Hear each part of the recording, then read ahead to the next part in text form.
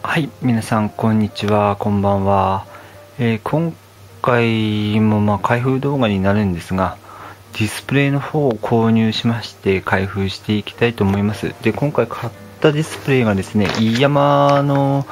144Hz 対応の27型ワイト液晶ディスプレイになります。で、こちら Amazon で購入したんですけれど、金額が3万7000飛び60円ですね。3万7000円ぐらいのモニターになります。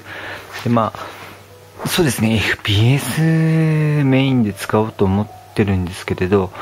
まあ、若干今、まだ悩んでるんですが、780のビデオカード1枚で 144Hz を3つ並べてですね、2D サラウンドにした場合に、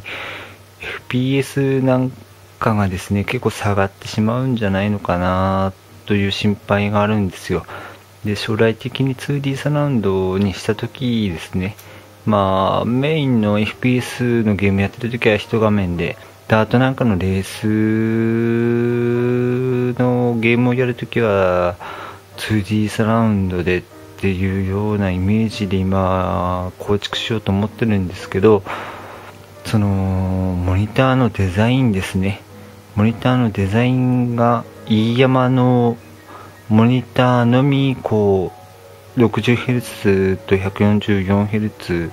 と 120Hz のデザインが同じなんですよ。なんで真ん中のディスプレイだけ 144Hz で右左の、えーディスプレイが 60Hz にしても、えー3枚とも同じデザインのモニターを揃えることができると。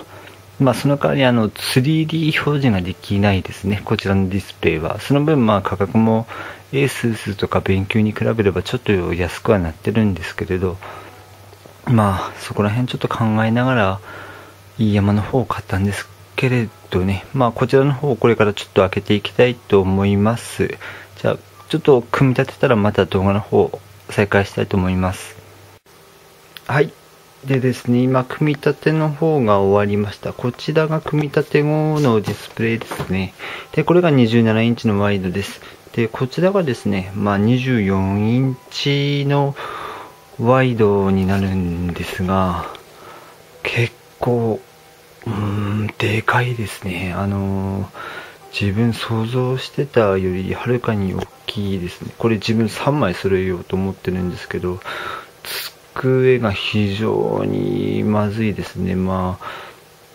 あなんディスプレイのあのアームですか？あちらの方はまあ買ってですね。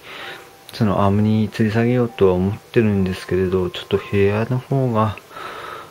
いっぱいいっぱいになってしまう可能性がありますね。ちょっとこちらの方もですね、まあ、今回は本当ただの開封動画ということになってしまうんですけれど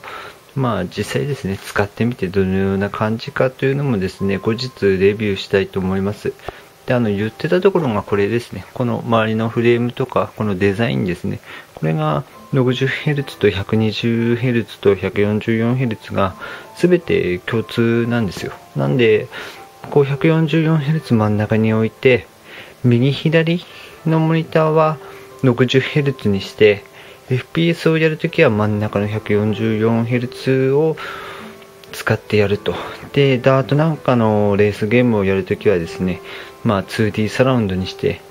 モニター3つですね 60Hz で揃えてまあ 2D サラウンドで遊ぶと。でまあメーカーなんかもねみんなバラバラにしちゃうと絶対色合いなんか変わってきちゃうと思うんでまあ必ずですねメーカーの方は揃えるようには気をつける言ってはいるんですけどね。まあこんな感じでですね今回開封動画の方を終わりにしたいと思います。ご視聴ありがとうございました。